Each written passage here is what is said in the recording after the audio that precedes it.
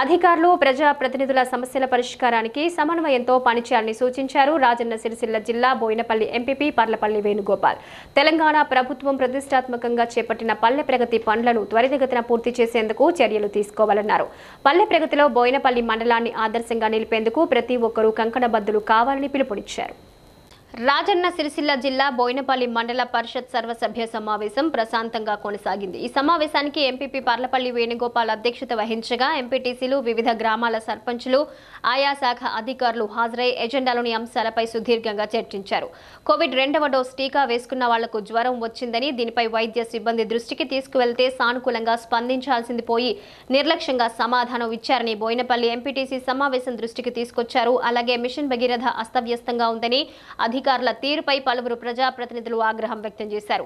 ప్రజాప్రతినిధులు అధికారులు సమిష్టిగా పనిచేసినప్పుడే సమగ్ర అభివృద్ధి జరుగుతుందన్నారు. ఎంపీపీ పర్లపల్లి వేణుగోపాల్ ఉమ్మడి పాలనలో అభివృద్ధిలో వెనుకబడిన తెలంగాణను అభివృద్ధి చేసి బంగారు తెలంగాణగా తీర్చిదిద్దేందుకు సీఎం కేసీఆర్ అనేక చర్యలు తీసుకుంటున్నారన్నారు. అంతేకాకుండా స్వయం పాలనలో అన్ని వర్గాలు సంక్షేమంగా ఉండాలని ఎన్నో సంక్షేమ పథకాలు ప్రవేశపెట్టి వాటిని పకడ్బందీగా అమలు చేస్తున్నారన్నారు. సమన్వయంలో ముందుకు వెళ్ళడం ద్వారా అభివృద్ధి అనేది వంద శాతం జరుగుతుంది. అలాగే ఎడ్యుకేషన్ డిపార్ట్మెంట్ మనం బాగుండాలి పిల్లలు బాగుండాలనే ఒక కాన్సెప్ట్తో మీరు ముందుకు వెళ్ళాలని నేను కోరుకుంటున్నాను.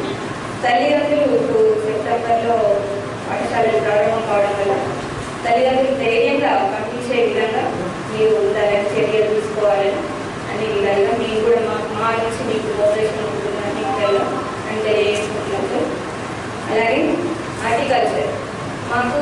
జంగల్ బాడీ అనేది ప్రతిసారి హార్టికల్చర్ గురించి విజ్ఞానం శాఖ. మేడం లెసన్ జరిగినట్టుగా ఈ విధంగా లెసన్ చదువుకుంటూ వెళ్తూ ఉంటారు. మేడంతో నేను ఎన్నోసార్లు రేస్ చేయడం జరిగింది. కోయంపల్లి మండలంకి వచ్చి మీరు అవేర్నెస్ ప్రోగ్రామ్ని కండక్ట్ చేయడం రేస్ చేయడం జరిగింది.